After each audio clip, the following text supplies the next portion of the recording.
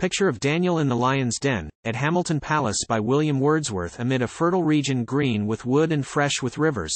Well did it become the ducal owner, in his palace home to naturalize this tawny lion brood. Children of art, that claim strange brotherhood, couched in their den, with those that roam at large over the burning wilderness, in charge the wind with terror while they roar for food. Satiate are, these, and stilled to eye and ear.